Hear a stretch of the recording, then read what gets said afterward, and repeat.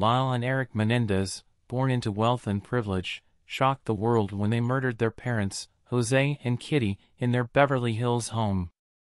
Their upbringing was marked by allegations of abuse, both physical and sexual, which they claimed as the motive for their crimes.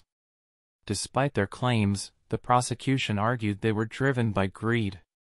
Currently serving life sentences without parole, efforts to overturn their convictions persist, fueled by new evidence of abuse. Their case continues to spark debate about justice, abuse, and the limits of parental authority. Thanks for watching.